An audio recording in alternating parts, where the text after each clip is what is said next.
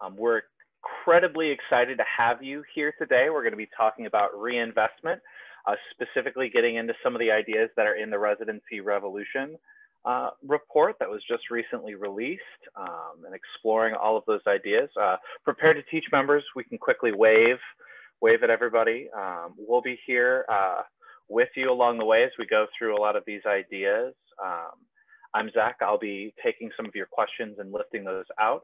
Um, but I'm going to be passing it on uh, to Hannah. Great. Thank you so much, Zach. And if you have any tech questions, you can reach out to Charlotte today. She is our technology wizard and ever helpful with helping people troubleshoot. So thank you. Um, and if we can start screen sharing on slide two, that would be great.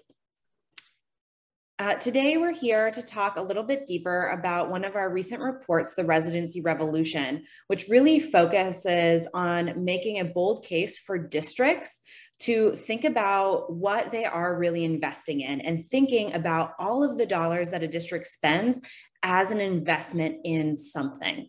And we want to invest in high quality, equitable teacher preparation.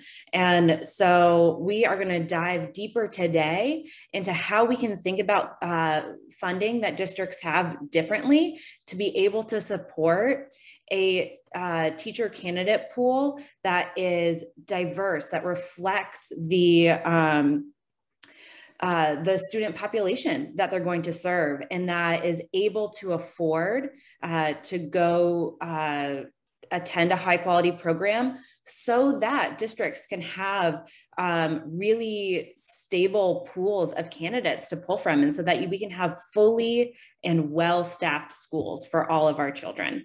Uh, so if we can go to the next slide, please. Um, this report and this webinar are part of a series of reports and webinars. So we have um, four different case studies about how to support sustainable, quality, equitable teacher preparation. Uh, we also have a report called Dollars and Cents that talks about um, making really a, a case federally for funding and talks about some of the barriers to teacher preparation um, as it exists right now. And one of uh, those barriers really being um, the uh, pay and the dignity that teachers deserve. And um, we also have uh, a sixth report in this series, if you can believe it, um, related to specifically to candidate financial um, burdens and going a little bit deeper into some survey data that we collected from throughout the country.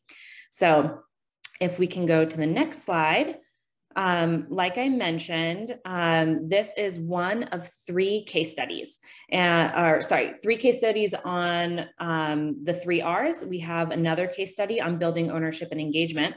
Um, the first of our three R's is reallocation, and that is really focused on partnerships, reallocating roles uh, to be able to fund resident stipends. Then we have reduction, which is very much preparation program focused and really uh, charging preparation programs to think about how much their programs cost candidates and look for ways to maintain quality or even increase quality uh, while reducing the overall cost to candidates. And then today's report that we're looking at is on reinvestment and really rethinking the way um, that we spend on not only HR costs, but also instructional costs as well, so that we can really um, have a great source of teachers coming in uh, to our schools.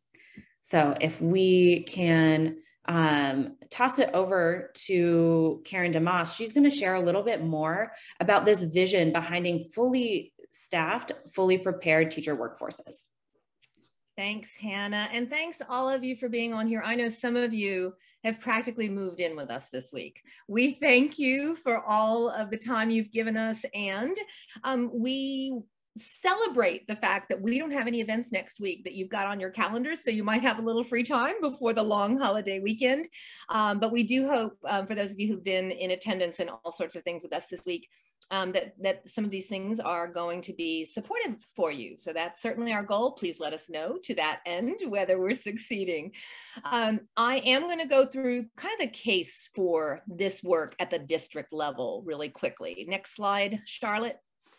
So if you think about pathways into the teaching workforce, we have since, especially since uh, the 2001 No Child Left Behind Act, which encouraged the development of fast track alternative programs, uh, officially encouraged them.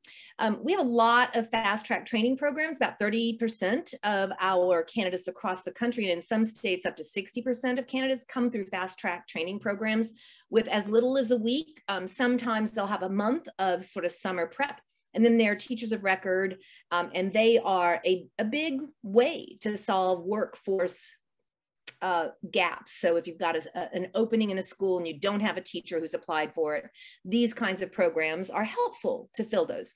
Historical preparation programs are the second approach, and that's what some people call traditional, though if you actually go across the country, um, there's no one thing. Um, so there is no such thing as a traditional um, versus an alternative. There's lots of variations and alternatives are inside higher eds, but the historical way of basically having a semester of student teaching um, from a university, um, often, most often in terms of numbers from the undergrad, that's sort of the historical preparation programs. And then there are these deep, deeply partnered residencies. So those are the three pathways. Next slide.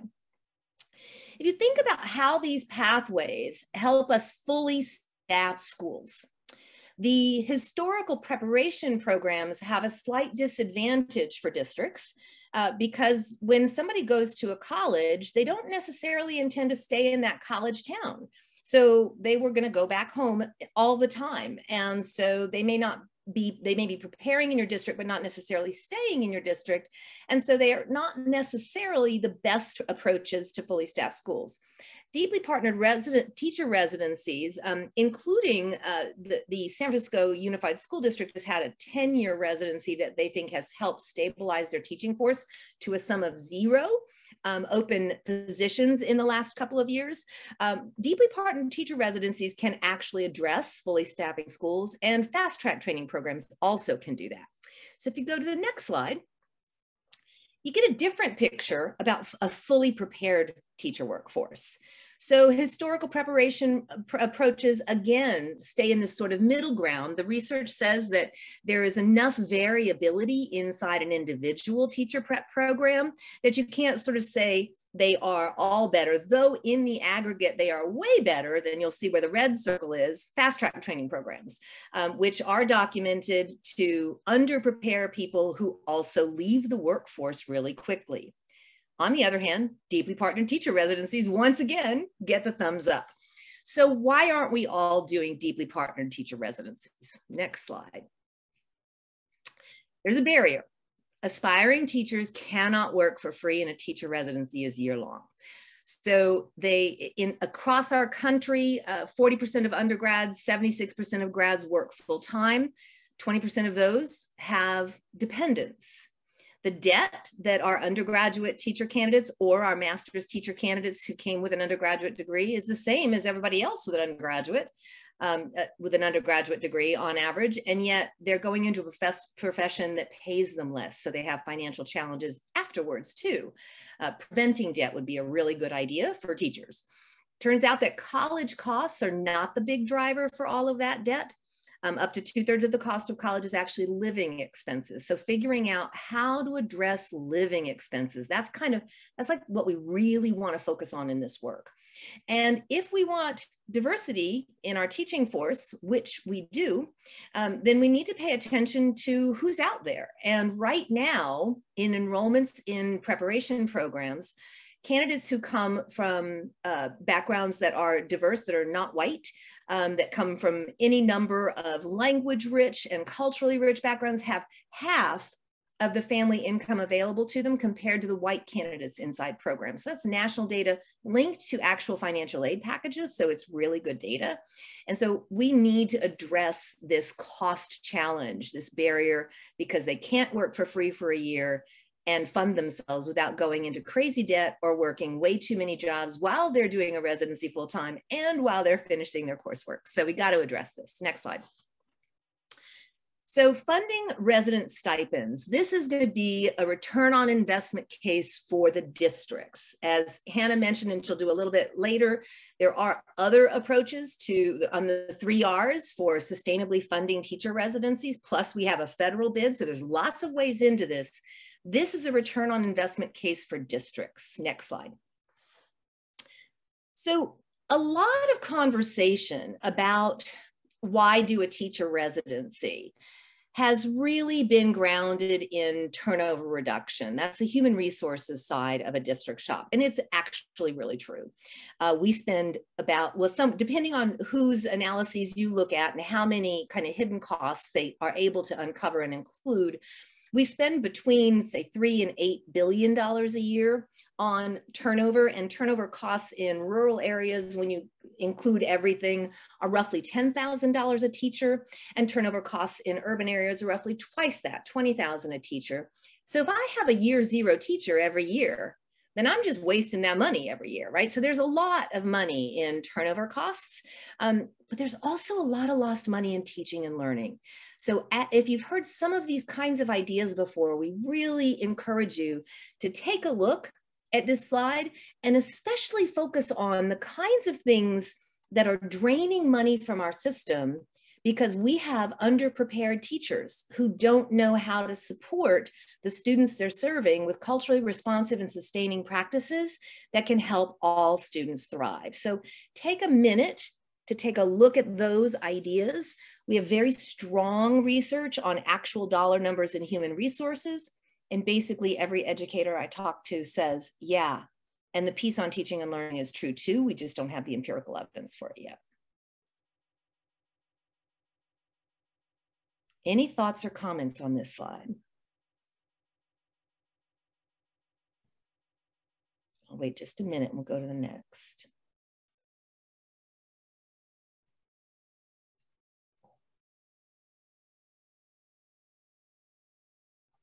I'm particularly interested in the uh, in the research group that wants to take a look at special needs referrals by teacher preparation type. I think that would that would result in at least as much money as we're finding in the HR turnover side if people are inappropriately referring people to special education.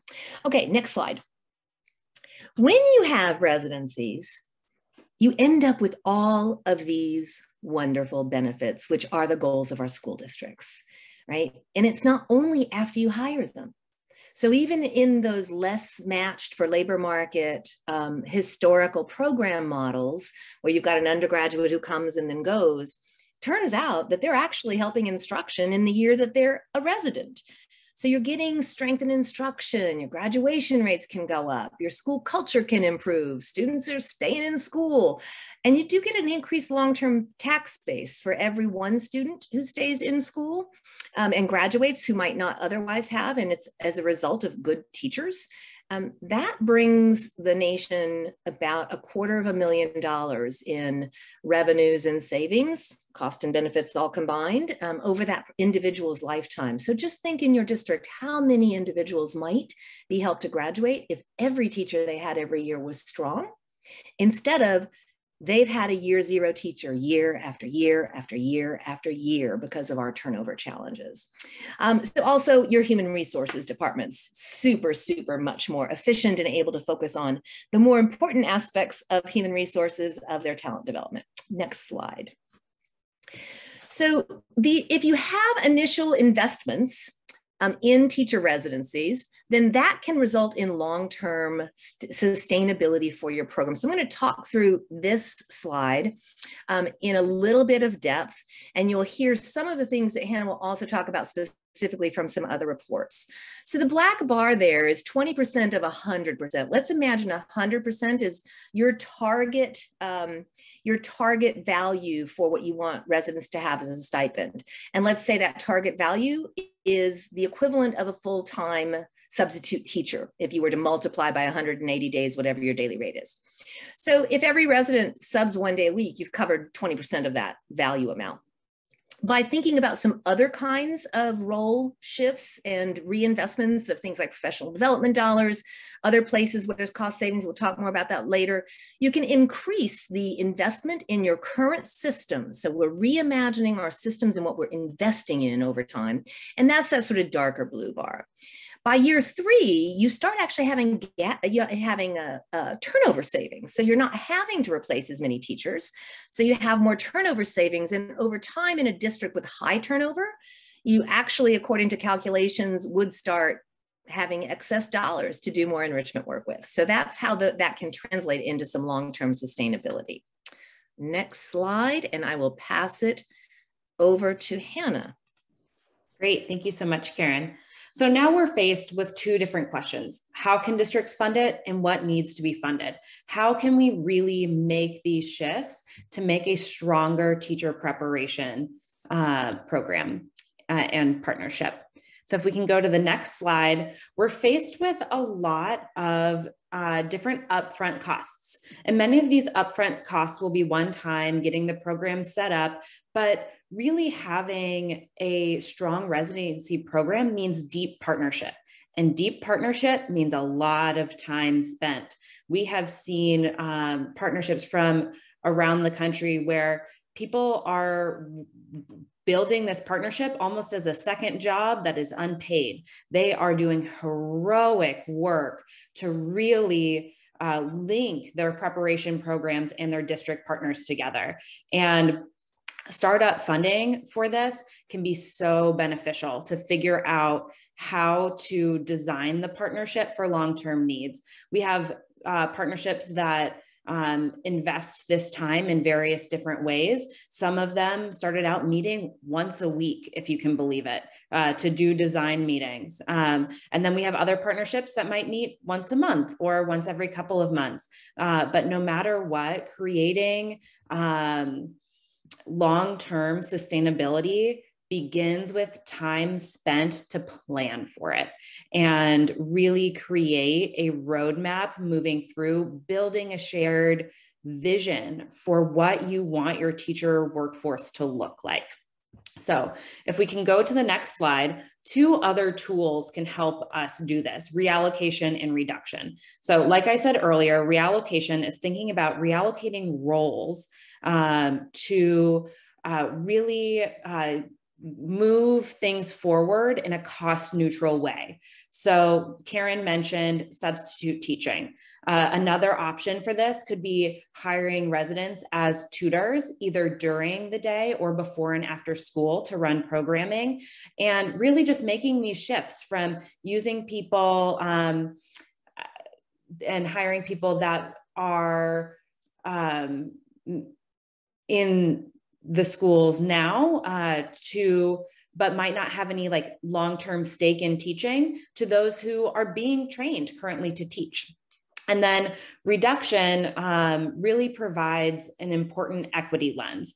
If you are coming from a family background that is not as economically advantaged, but might have um, other really critical perspectives to bring into teaching, it's really important that um, our preparation programs meet their uh, potential student uh, potential students, their teacher candidates, where they are so that they can afford uh, this quality teaching. So there's a number of different ways uh, that preparation programs can do this.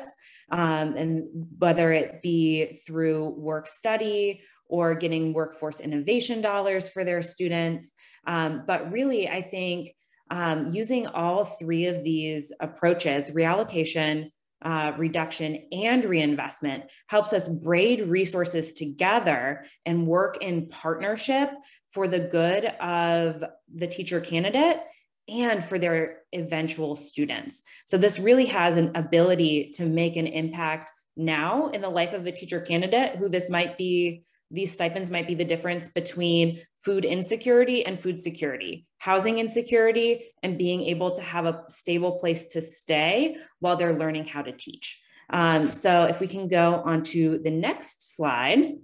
Um, this really speaks to um, what that investment looks like. So up front, we're going to have a bigger investment that's necessary to be able to fund stipends. But then over time, as our teacher candidates um, become full classroom teachers and stay in our districts longer, we'll have to spend less. And really, uh, we'll be able uh, to harness those savings. So if you uh, can, you can see in this uh, graph here, we have vacancies reduced as uh, the number of teachers that were trained in residencies stay over time. And so we need to make fewer hires. And part of, yeah, you can go to the next slide. Thank you so much. Part of how we can fund this is through federal dollars. How exciting. They already exist and are, uh, we're able to do it. Um, and sometimes it takes the creativity and knowing that like wait a second this is possible if i rethink how i'm currently investing uh, my IDEA dollars my ESSA dollars and the new ARP ESSER dollars present a great opportunity. So we've got a couple of wordy slides coming up so i'm going to pause for a second and give you a chance to kind of read them. Yeah we can go to the next slide. Um, so we can use title one dollars to improve programming as it is in schools and so this is you know, the teaching and learning dollars that we're currently spending, that we currently get. So this is me pausing so you can read the slide a little bit.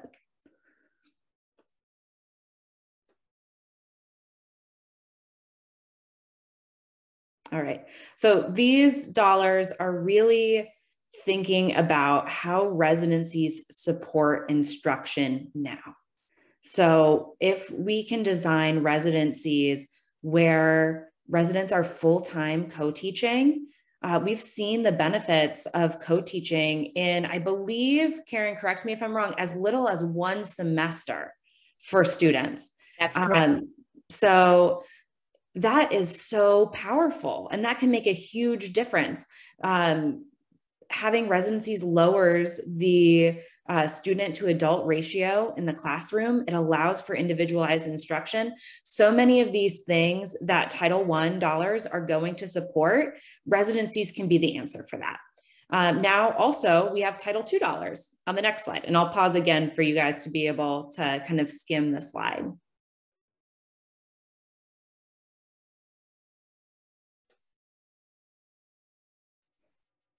So uh, one of the really, I think, critical parts about Title II dollars is really thinking about how we're going to support and attract mid career professionals. So, we talk a lot about this with um, some of the more fast tracked um, entry programs um, where we're trying to bring in people who have previously worked in STEM and now want to use their amazing STEM background and become a teacher. But if you're used to having a STEM salary and you have children to support and uh, you you know want to take time off to learn how to become a teacher, it's really hard to be able to uh, work for a year. So um, one of the things that we can spend these Title II dollars on is attracting those mid-career professionals.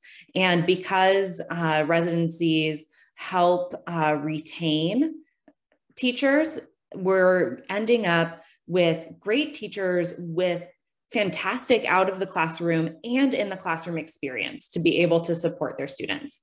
Now let's go on and talk a little bit about the AR, uh, so IDEA dollars. Uh, first, so again, we can, for those uh, candidates that are specifically studying special needs, we can use IDEA dollars as well to support them.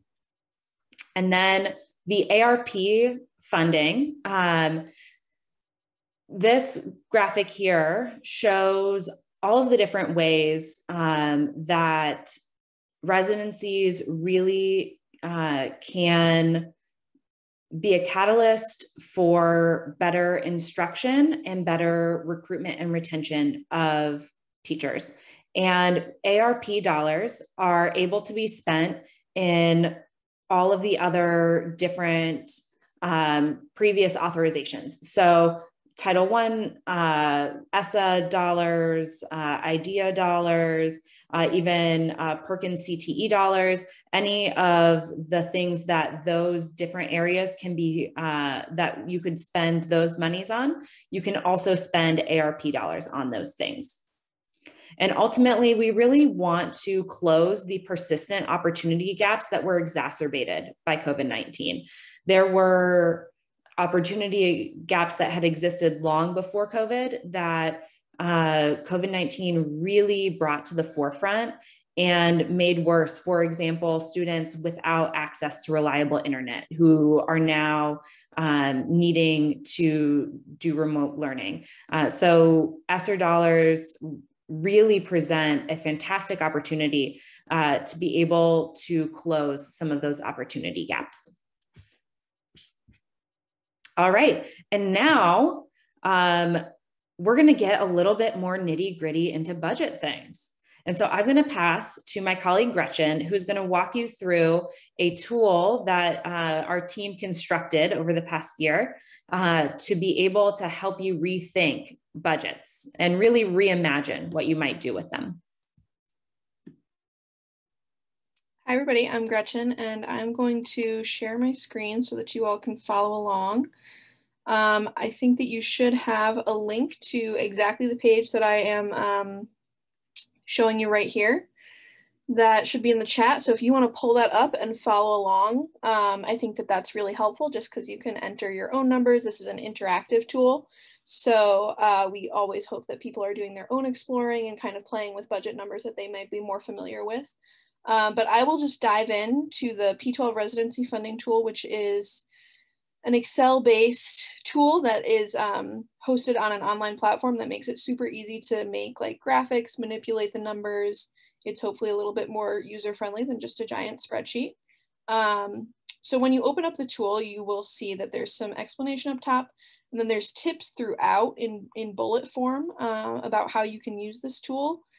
And we really recommend reading those because they include some important information about kind of how the tool works, how you might be funding pieces, um, and also just about like, you know, technical things that you need to be thinking about, like if you're putting in percentages of funding for a district and a school, how funding is split, remember that that shouldn't be over 100%.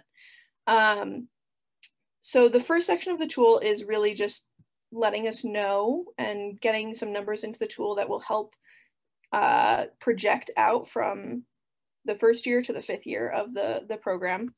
And this is obviously more helpful if you have realistic numbers, but if you are just looking to play with it, that's totally fine too. But if you are looking to actually plan a residency program, it's really helpful to consider how you might be funding residents through two different models. So we have the substitute teaching model, um, where where residents are actually in classrooms um, uh, taking over for for teachers when they're out, and then we have the paraprofessional position model, which is where they might be splitting time um, between morning and afternoon. So two residents splitting a, a, a full-time paraprofessional role.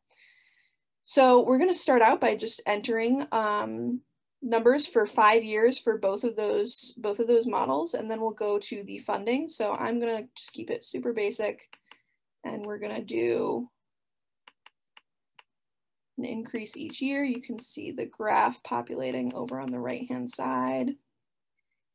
And these are combined so you can see that we are actually getting both combined over there. And we're going to end up with a cohort of, let's see, we've got 14 total in year five. So you can see that that also pops up when you hover above um, on this graph. So pretty much all of the information in these graphs um, is contained in, in your, your numbers here, but they're just trying to make it a little bit easier. So if you want to screenshot any of these graphs, you can save this page as a PDF. Um, use it in your own presentations just to make it easy on yourself so that you're not trying to pull up PowerPoint graphics or Excel graphics. All of the information is right here. So moving on to funding. So we will enter now what we're looking at for financial supports for residents. Um, and this stays the same each year. So, you know, it might be a living stipend of $20,000. Um, but we but we say financial support. So how much are you going to need to support each resident? And obviously that's going to be proportional to the enrollment. And then we're also going to think about mentors. So each mentor teacher, and there's a one-to-one match. That's one of the, the pieces in the tips up here. Um, a one-to-one match between residents and mentor teachers. Um, and they are going to get $3,000 a year. So you can see that now we have a color-coded graph with total cost for residents, total cost for mentors, and that goes year by year. So you can see that it is $40,000 in year one, and then as enrollment increases, we're at $280,000 in year five with um, 42,000 for mentors in year five. So again, this is this is just for you to visualize, but obviously this is um, this is just the basic math. And then once we get into the other sections of the tool, um, that is where we kind of start looking at things like reallocation and reinvestment where we're actually saving dollars from your budget and thinking about how those can be added to the residency. I will pause very quickly there to see if anybody has questions. You can feel free to type them in the chat or just shout them out. Um, so I see one question from Nancy. So the living stipend above and beyond pay for the positions, um, or is that the pay? So we recommend having a stipend because of tax purposes, and Karen can obviously go more in depth about kind of the the logistics of this. But um, for example, if they're substitute teaching, they wouldn't be getting paid for the substitute teaching hours necessarily. They might be getting a living stipend that is doled out similar to a paycheck.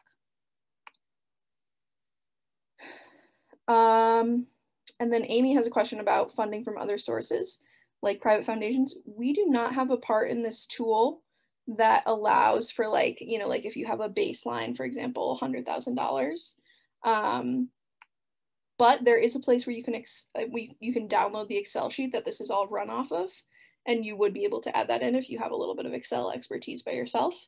Uh, but that is something that we could definitely consider adding to kind of indicate, and you'll see later on kind of how the funding sections work, um, so that you can see kind of like how that might look. But for sure, that is something that we will consider. All right, section number two, this is reallocation. I'm not gonna go super in depth here because we had our reallocation conversation a little bit earlier this week. And if you were on that, you probably got a pretty good demo of this, um, but I will just say that the sec this section is going to focus on how much substitute teaching people are doing, um, paraprofessional pay. You can see that we have estimates throughout where you can actually just select um, different numbers if you're exploring, same with extended day, extended year, miscellaneous hourly, and professional development, which obviously functions a little bit differently, but um, you have options for how to use that. And you don't have to use any of these categories. If you don't fill anything out, it won't be used. Um, you'll get a budget summary for reallocation, and then you will move into the reinvestment section. So this is obviously the focus of this conversation is reinvestment. Um, so we have some tips again up here. And as uh, Karen mentioned, you're, you're not seeing the accrual of savings in year one. So this, this section is going to look at a few years out. Um, but for comparison's sake, you'll see kind of how the, the tool summary happens. Um, so it, it's not all combined in year one as you might for reallocation, which is a more immediate um, savings. So getting into the reinvestment section, the first part that you're going to look at is recruitment. So this is going to ask you for the total amount that you're spending on recruitment for um, your district or school, however you're approaching this tool. You can do it kind of either way, depending on if you're entering the number of residents that are going to be in the district up front or the number of residents that are going to be in a school. So if you are spending, let's just keep these numbers really easy, $100,000 on recruitment each year. And we're gonna say that that is 100% at the school level. Um, that is now going to be pushed down into your funding summary down below. So I'm gonna keep on filling this out and then we will go down and check out the funding summary. And I'm gonna do, again, I'm just gonna keep some simple numbers. So again, this is hiring and onboarding savings. So thinking about the annual cost of hiring and onboarding all the new teachers that you need. Um, we have some pointers here about things that you might want to think about, things like incentives, administrative costs, and staffing expenses for when you need to be um, on top of the, the hiring process. So again, we're gonna keep this easy and we're, we're just gonna keep this at a school level. Um, except I think we will, we'll, we'll put a little bit of district money in just so that it's an easy, easy uh, way for you guys to see how that works. And induction savings, so this is gonna be induction and we'll put that as a district 100% cost. Um, training.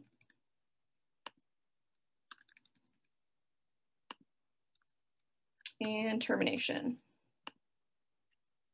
So obviously I'm not doing real numbers. We recommend that you go through this with your budget in hand or someone who's knowledgeable about your budget um, sitting next to you.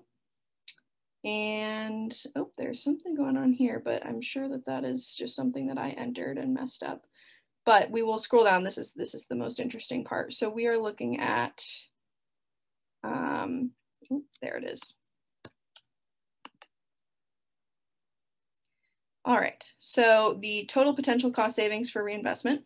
Um, you can see we have a little breakdown here about how our funding is going to flow.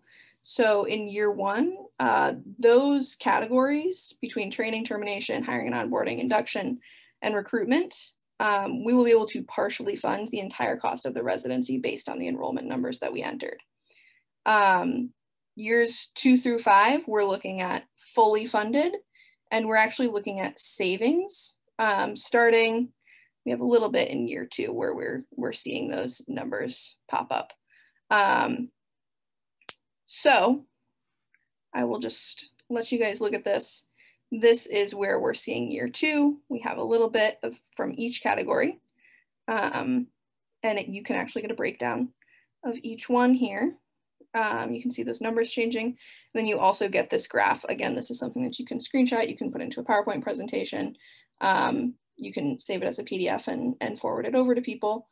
Um, and then here, this is the remaining to fund. So this is where we're looking at actual savings. So you can see that where there's a negative number, that means that we have actually created savings by looking at uh, what would be possible in our enrollment and then what would be possible from savings. Um, this is this is reinvestment only. So when you combine reallocation, you can usually find that you're you're going to have a fully funded program with savings by somewhere in year three, four. I would say with most times that we've um, tested this with like semi-realistic numbers. Um, and then this funding summary is going to be both of those combined. So as, as I said, I'm not entering reallocation dollars, but this is the whole graph of everything that's possible in this calculator. So um, if you were going to add something like private funding, you would be able to start out with, for example, a baseline um, here to say that you have X amount to invest into this residency um, during each year. And then that would be added into the total dollars available and obviously subtracted from remaining to fund. So this is this is what it looks like when it's fully done. And I just want to also point out the school and district funding breakdown. So while I was going through, you guys saw me entering um, the proportion of different areas that was funded by the school versus the district. Um, this graph shows how much is being pulled from each of those levels. So again, it depends on if you're looking at this from a school-based approach or a district level approach. Um, for how you want to enter those, but we just did a mix so that you guys could see how that works. Um, but once you've completed the whole tool, you will have a ton of really helpful, we hope, numbers and graphs that you will be able to take to planning meetings or put in presentations, share with colleagues, share with your partners. Um, and you can also right here download that Excel file like I mentioned, save it as a PDF. Um, and we encourage you to get in touch with us about any questions if you're playing with this and something seems off or you're you're not getting the numbers that you would expect let us know if you have something that you would suggest that we should add um, let us know but i would definitely say we are open to like any kind of you know additions or thoughts on this tool as we are with all of our resources um, so yeah, so we we would encourage you guys to get on there and explore. And I will now check out the chat for any other questions. I know we have a quick question for Karen that I think she'll be able to touch on.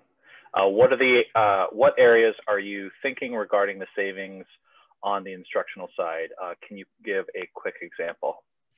Yeah. So um, first of all, I've got a kind of a meta comment. Um, we adore that you guys are saying, yeah, and can we do this too? Because that means to us that this is meeting some kind of hunger in the field, which is what we have been thinking for a long time.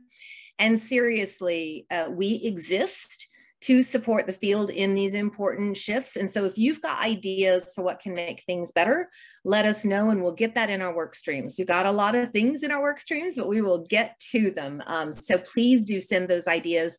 You can always email prepared to teach at bankstreet.edu um, and or um, you can email any one of us that you happen to know. So that's one thing there. Um, thanks, Gretchen, for a super walkthrough on that tool.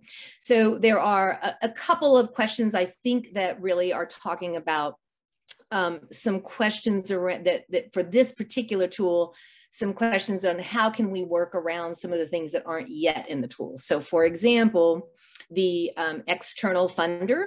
I think there might be some ways, but we'll have to think about how to provide some support. So you're not, you know, everybody's not rebuilding the wheel on their own, um, that there might be some workarounds in that. Um, please be sure to chat Steph if you'd like to be in a conversation, a sort of a mini work group on that, where we'll bring people together for an hour after we figure out what could be possible.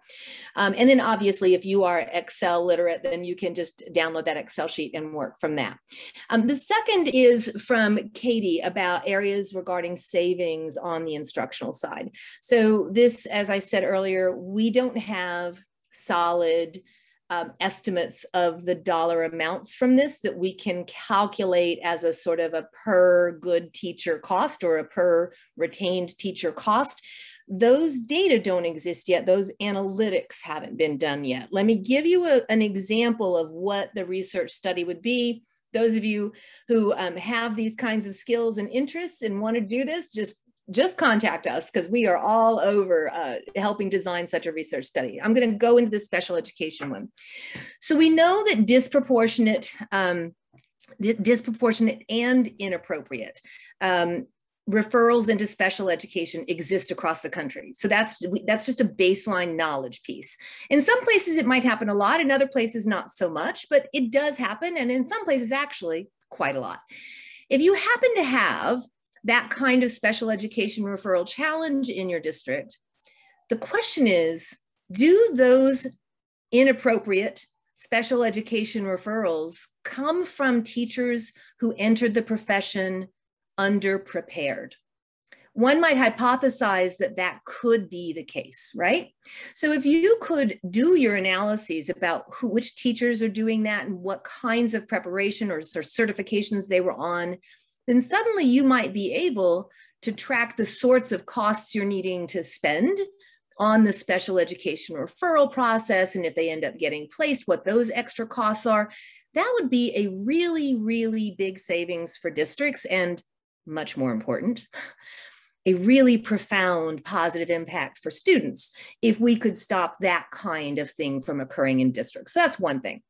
Um, the other pieces, which are slightly easier to, uh, to think about uh, getting some cost to, for example, the average weekly after school salary is $600 a week in the country. That doesn't mean yours is, but that's the average. Um, so if you have four days a week of after school for kids who need remediation, and if those remediations could have been prevented because they had two great teachers in a classroom who got rid of that need for remediation. And we know that co teaching with a student teacher, so just a student teacher, not even a resident who is better prepared, right? Um, co teaching with a student teacher um, can statistically significantly close gaps, all subgroups.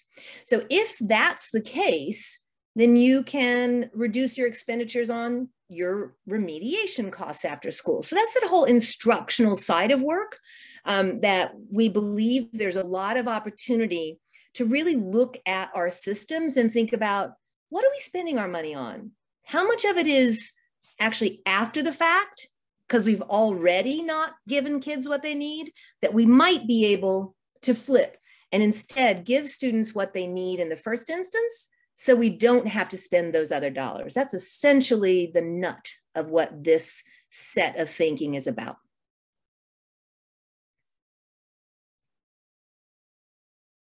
Any other questions? Thank you. That was super helpful. Can I ask a follow-up question? Of course, quick? Katie. Um, when we're talking about cost savings and around recruitment and things, have you thought about including, and if not, why, um, including a piece around the expected re increased retention of hiring residents over traditionally prepared teachers? I'm just trying to understand your thinking. If you intentionally so, left that out, that actually ends up getting calculated in here. Um, I'm pretty sure, right, Gretchen? So that's in the back end, you've got those costs, right? And so those costs, all you know what though? Actually, Katie, as I'm thinking about it, I think when we were doing the final proof of this, I wondered because those costs are a, a single year instead of five years.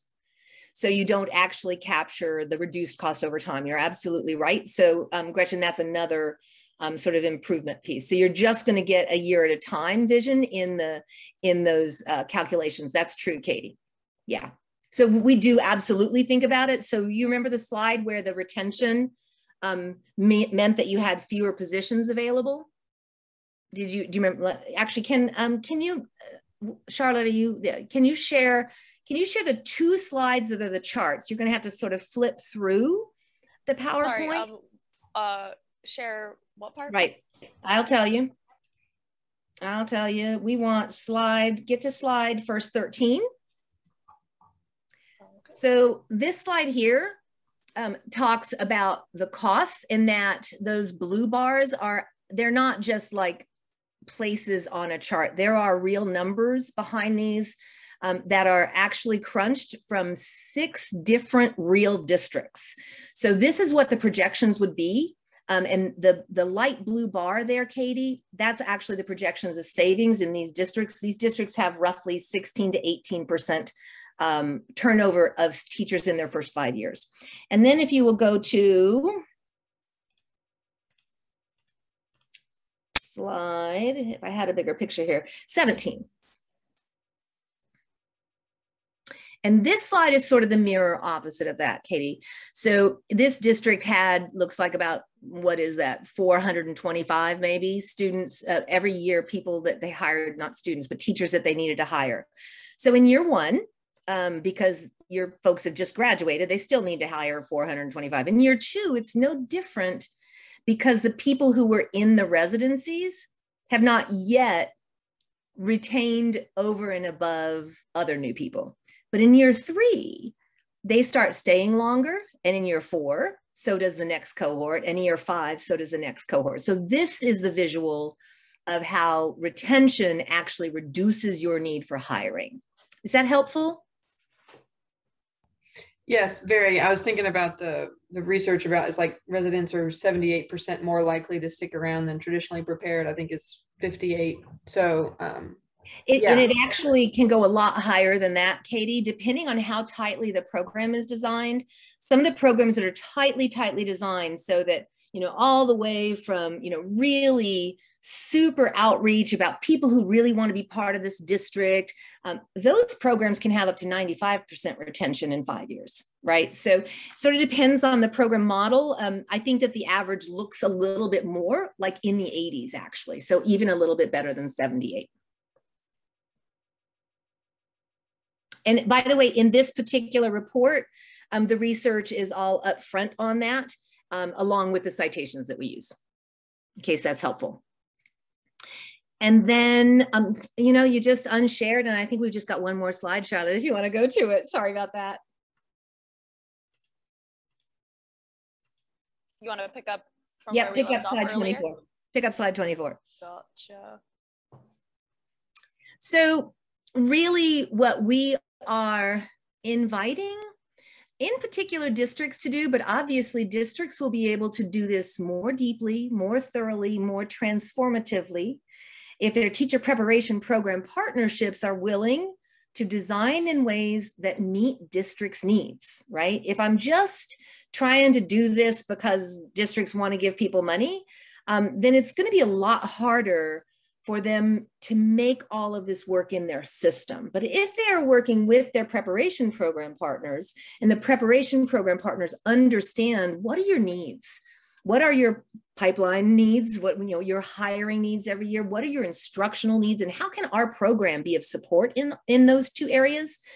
Then the districts have a lot more capacity to make these changes. So it is always a partnership but these dollars happen to come more from the district side. So um, these are some of the questions that we think could be helpful for people to explore in their districts. So if you have a lot of fast track programs, see if you can't do some internal analyses about who stays.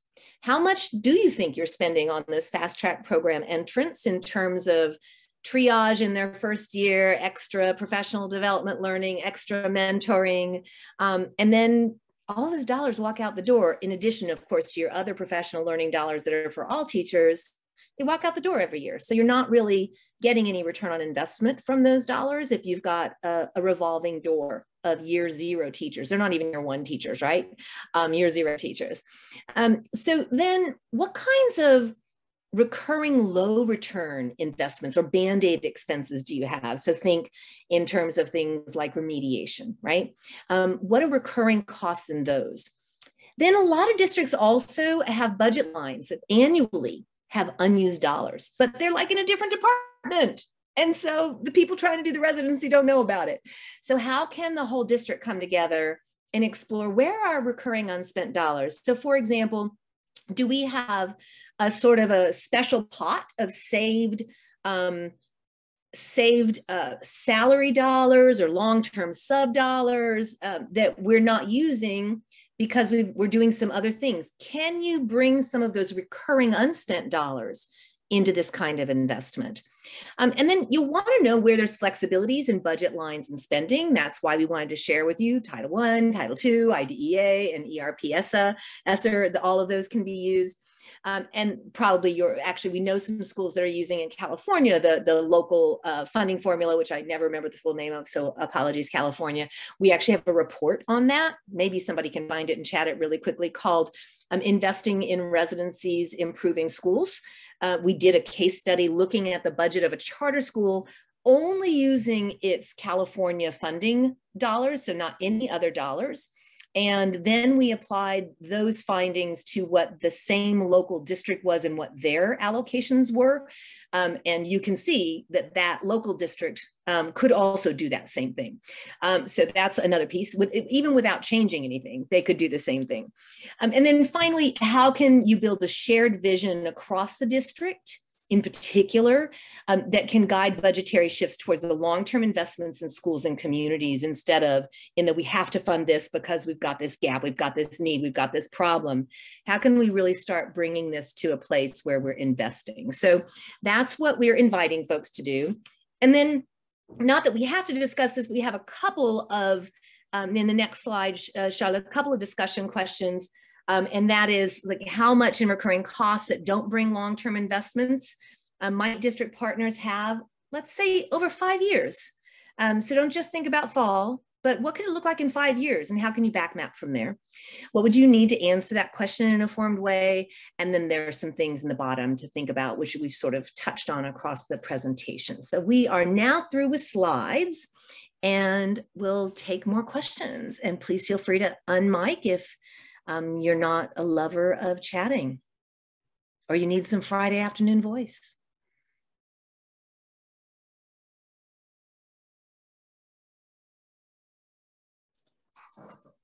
And, Patty, is, that a, is that a dog that wants to join our, our meeting? We're so proud that we're attractive to puppies. Yay! he gets very needy in the afternoons. Yep. He's our faithful afternoon companion, that Brand said. One of the things I was thinking about um, being newer to thinking about residency models is if you are trying to create this partnership, um, do you have people found it easier to work with like start small and scale up or kind of start big with some small pieces and scale that way?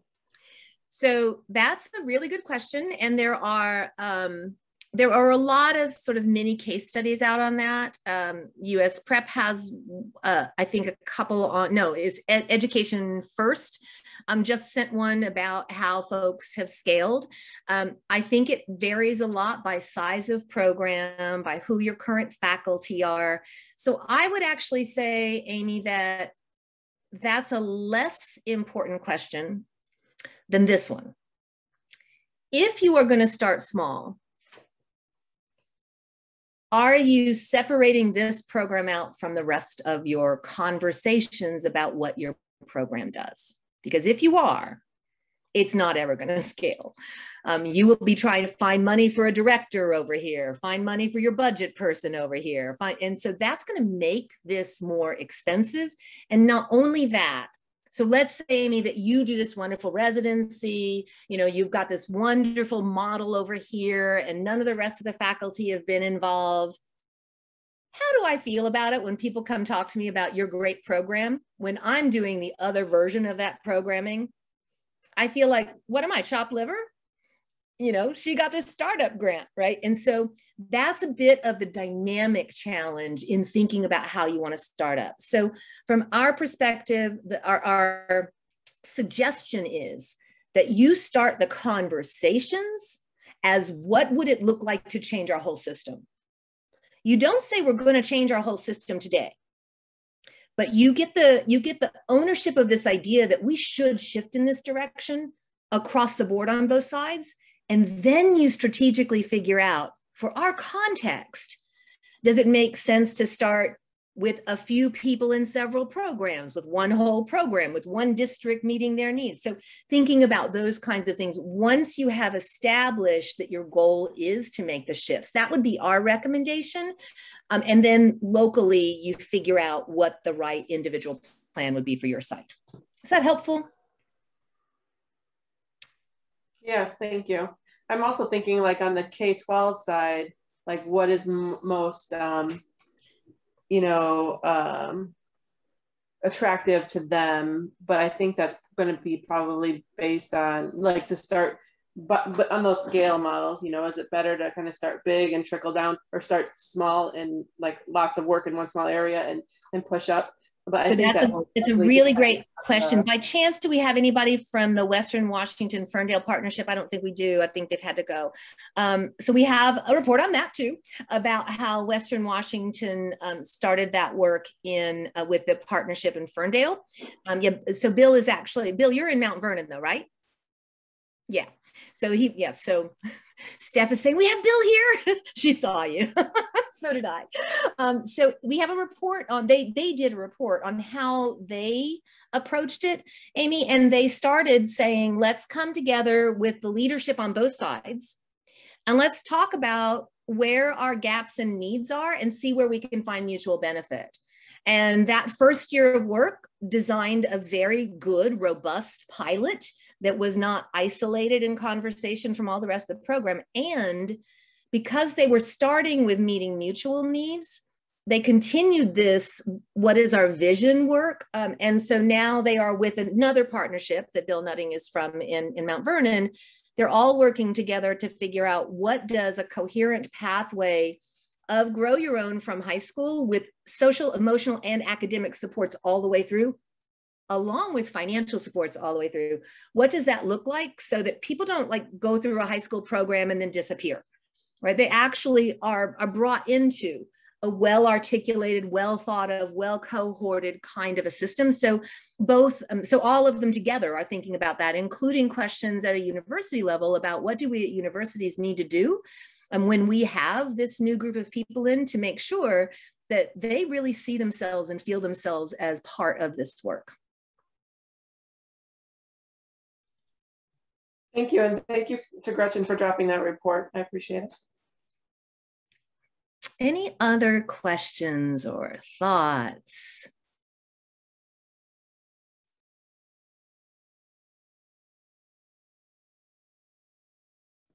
I have a few things that I would love to add about the ARP resources. Uh, one is that residencies aren't actually automatically included in this. Uh, so we are currently right now petitioning different state ed uh, agencies in order to be able to get residencies to include this. We realize uh, that the various LEAs are going to have a lot of different um, competing needs for this funding, but we want LEAs to be able to decide on their own if residencies are going to meet their needs. And so, in order to do that, it has to be written into state plans. Um, and the due date for those state plans is June 7th.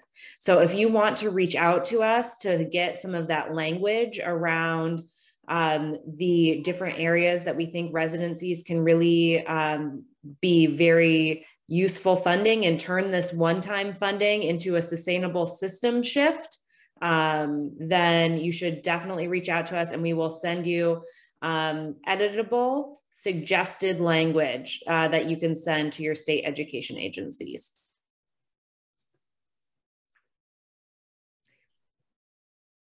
Can I add another clarification? Of course. So, so here's the weird thing. So actually, it's completely technically already included. It's actually been technically included since back with No Child Left Behind. We just haven't believed it's been included. And so if you happen to have state ed people um, who don't believe it's included already, um, and they don't include it in their plan, then you may get a no inside your state because of the lack of understanding of the potential inclusion. And so, what you're looking for is making sure that a person who doesn't yet get that this is eligible because it is already eligible under Title One and Title Two, um, that they actually see the language inside the document. And so you don't have to sort of have them go to their federal Title One, Title Two guidance person and have a big conversation and a big to do about it. So that's what we're really trying to do is smooth the path. Mm-hmm.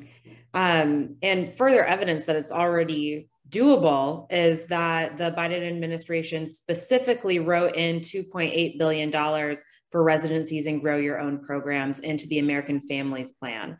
Uh, so, very exciting to see movement on that uh, front as well. So hopefully we will be able to to get that written into law soon.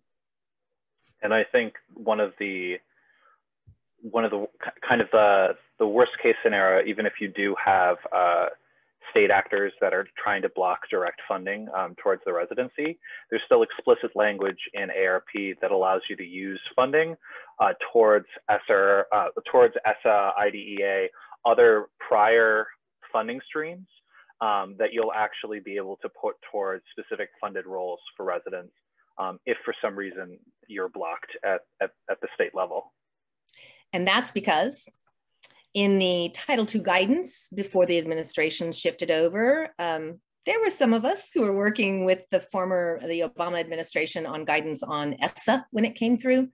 Um, and we did get residencies um, included inside um, the essa Title II guidance document. Zach, you might be able to find that and, and, and sort of just give that general link um, as the evidence there. And one of the pieces that's sort of core here that was part actually of those conversations that we had with players across the country and also with about 20 different folks in different offices at the US DOE, and we submitted public comments and all of those things, is that with No Child Left Behind, um, we talked about recruiting and retaining. Like how many of us like just like off the off the tip of our tongues talk about recruiting and retaining teachers right? Just sounds natural right? That was actually an express decision um, that was lobbied. And there's something missing there and it's actually the glue between recruiting and retaining and that's preparation. Because if you don't prepare so you learn to teach then you're not really going to be retained. We know that the turnover is huge from those fast track programs. And so it's the preparation portion that got written into the Title I dollars because of the evidence that if you don't have strong preparation, you're unlikely to stay in the, in the field. And so preparation is actually already written in to Title II eligibility. Therefore, it's also actually already written in to all of the ESSER funds.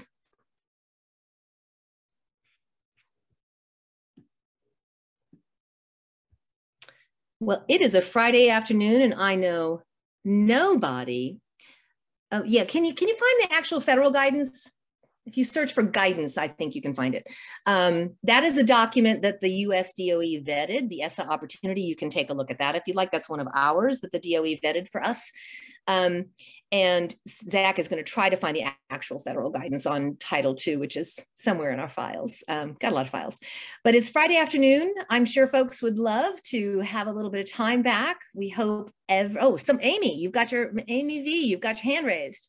Talk to I, I just, I just had one, one question that I was just thinking about in terms of what are, you know, you talked about the, the money that you're using to fund the, the residents and um, that, that the, a good portion of what they need is for living costs. So what is what are some examples of the ways that you actually uh, channel that money to them? Does it go, go through universities? Because like our main method is to credit an account or to an award a scholarship, but then a lot of times, you know, it doesn't necessarily funnel back to them for the purposes that they need. So how do you, what are the ways to right. get the money to the people? So that is, that is a great question.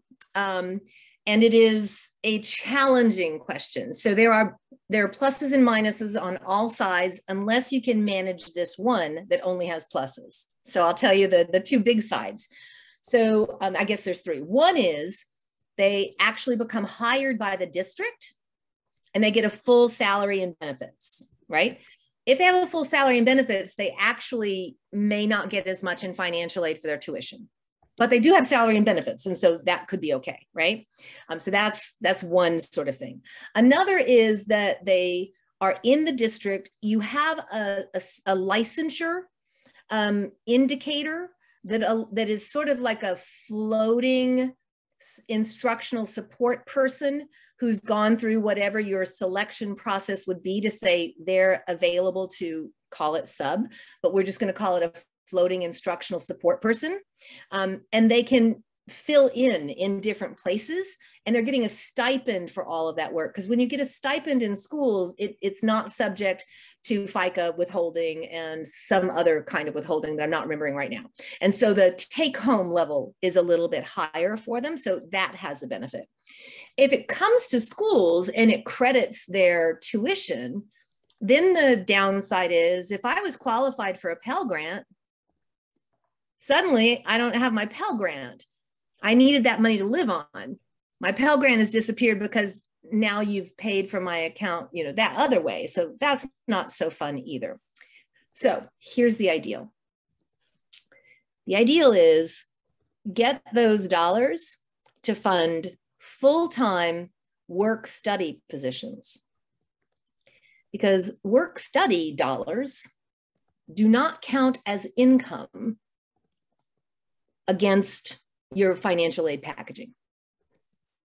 So work study with the university or with yeah so um so we just did in the in the so if you can chat against it uh, we know we got a lot of resources and if you got follow-up questions say what one was that that you were talking about we get it. So just ask us again.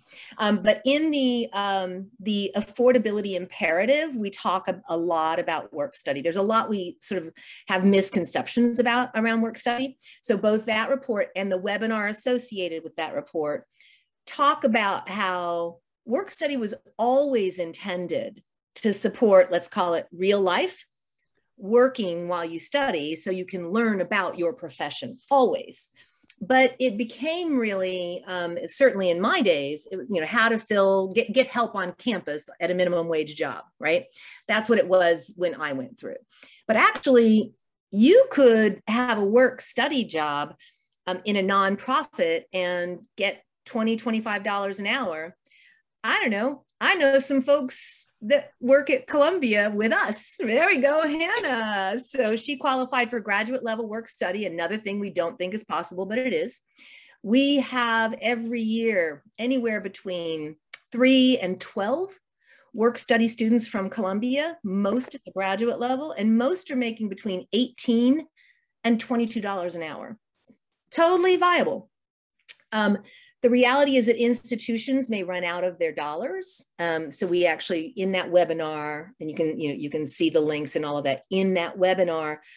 There, there's links to where you can find out if your institutions use all their dollars, and oh, there's a lot of stuff to that. but you can have those dollars come to fund a work study position that happens to be there. So they could give dollars for work study instead of to individual students' accounts. And those work study dollars then could go to candidates, right? And the work study dollars, they can pay 100% out of that. Um, districts also can pay the 25% matching fee. I know I'm sorry, I, I, need my, I need to talk through this more slowly. I understand it all, but I get that I've already lost a few, a few threads. It's a pretty complex system. Um, but but there's basically there is a 25% match in most institutions. Probably in most of your Alaska institutions, they have a waiver on that match um, because of a, a, qualification that I'm sure the institutions have applied for. But many institutions have to pay 25 cents on the dollar for any work study that's expended. Um, and so if you do work study off campus, the districts can pay that. So they could put the 25% into that pool in addition to the other ESSA funds just to support the work study, or they could just pay 100% of the work study cost as part of the agreement. Um, thank you so much for joining us. You know where we are. Um, so visit the website. It's been a great week. Great, Patty. I'm glad it was good for you. Let us know how we can get stronger too.